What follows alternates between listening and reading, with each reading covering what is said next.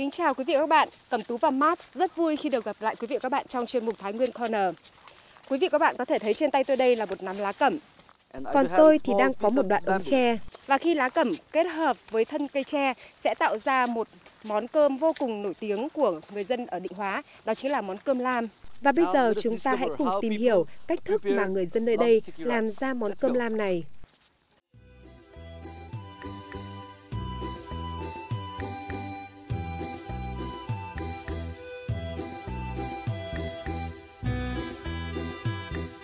Cơm lam là một món ăn giản dị của người dân Định Hóa. Giản dị bởi vì nó gắn với những con suối nơi đầu nguồn, với nương lúa bên sườn đồi, những vạt rừng che nứa xanh ngút ngàn của vùng đất ATK một thủa. Đồng bào Thái, Mường, Tây, Nùng khi xưa, khi phát minh ra món cơm lam là để chỉ cần mang gạo lên rừng mà cũng có cơm ăn. Nhưng không thể nghĩ rằng ngày nay cơm lam đã trở thành một món ăn độc đáo và hấp dẫn mọi người như vậy. Chúng tôi được chị Hứa Thị Thêu, một người chuyên nấu cơm lam bán cho khách du lịch, chỉ cho cách làm món ẩm thực độc đáo này. Đầu tiên, chị đưa chúng tôi lên rừng, chặt những ống nứa hoặc ống tre non để làm dụng cụ đựng cơm. Những ống tre này phải còn tươi để khi lam chỉ cháy được ở phần ngoài và nước ngọt của cây ngấm vào gạo. Loại nứa hoặc tre này, mỗi cây chỉ chặt được từ 3 đến 4 ống, mỗi ống dài độ 30 cm.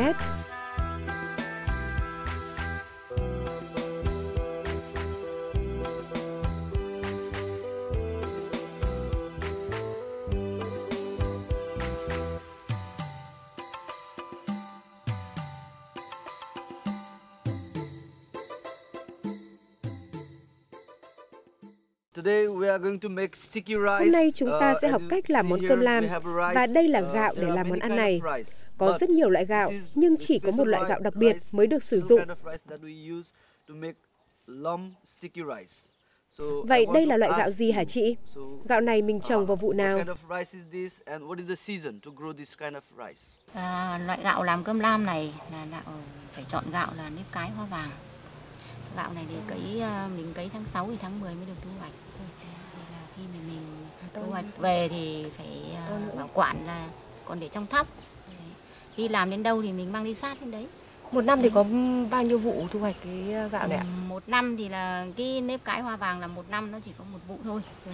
Khi mình cấy là để làm cái cơm lam này mình phải cấy nhiều. Nhưng nhà, gia đình nhà chị thì cấy 4 đến 5 xào.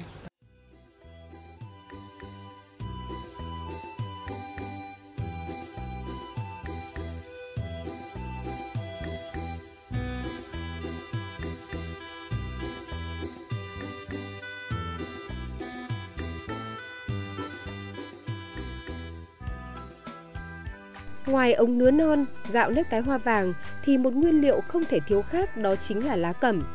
Đến với ATK Định Hóa, chúng ta dễ dàng bắt gặp loại lá này mọc đầy trong vườn nhà. Lá cẩm rửa sạch, đem luộc với nước để lấy phần nước có màu đỏ tím sẫm rồi để nguội. Sau khi gạo vò sạch xong thì là đổ vào cái nước ờ, lá cây cẩm mình đun nó ra màu tím này.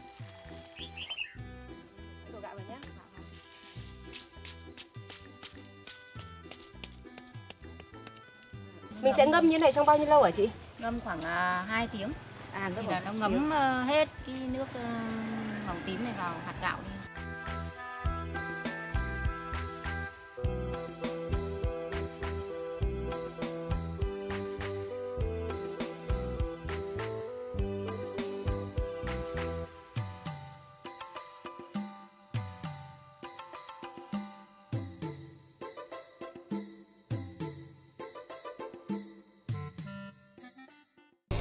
Gạo sau khi mà mình vò sạch ý, thì là vừa ngâm với nước ờ, lá cây cẩm luôn ý. Sau 2 tiếng mình vớt lên là nó ra màu tím đẹp như này. À vâng rất đặc trưng phải không chị? Bây giờ ừ, mình vớt gạo sóc ấy như này rồi nhá xong bắt đầu mình mới cho vào ống. Vâng. Ống như này mình cho vào ống xong lại đổ nước vào. Mình sẽ cho cho cho, cho với một cái lượng như nào hả chị? Ống nó dài như này thì mình cho khoảng tầm đến đây để lại khoảng uh, vâng. tầm uh, hai phân. Vâng. thì để mình còn đút cái mút lá chuối vâng. chứ cho đầy khi mà mình nướng nó nó lại nở lên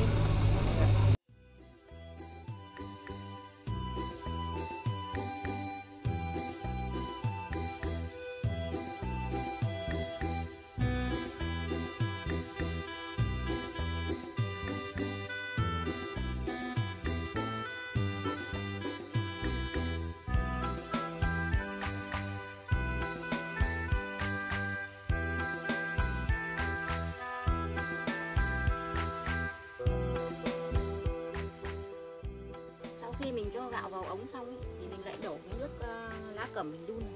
Lại đổ lại vào ống. Đổ với một lượng bao nhiêu hả chị? Đổ một lượng là gạo đến đâu là nước ngập ừ, một tí đã thấy mà à, không, không nó còn trôi xuống đấy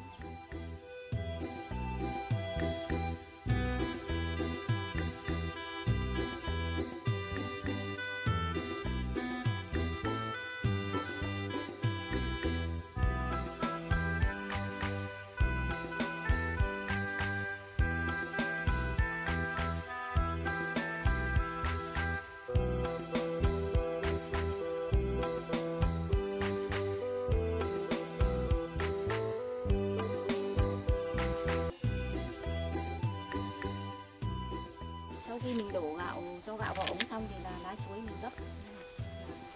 Gấp như này này, xong bắt đầu. Gấp như này vào. Đấy, gấp. Cuốn chặt vào. Cuốn chặt vào. Nút to là nó vừa ống nào là mình rút ống đấy. Như ống, cái nút này là vừa với ống to này. Rút vào đây. Đấy, thế là xong. Một ống.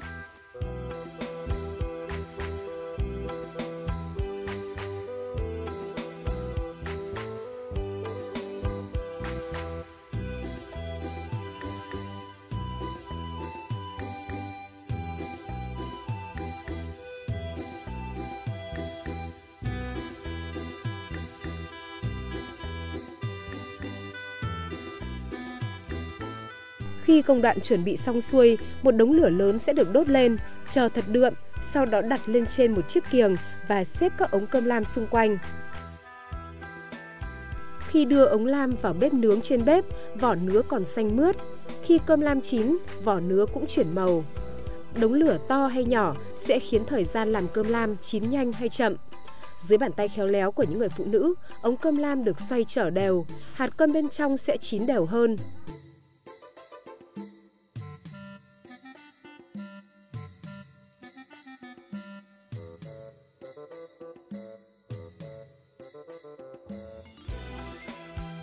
Sau đó, đợi cho ống lam bớt nóng, chúng ta sẽ dốc hết lớp vỏ cháy bên ngoài, tước bỏ phần ống nứa để lộ ra phần cơm bên trong thơm dẻo, vô cùng hấp dẫn.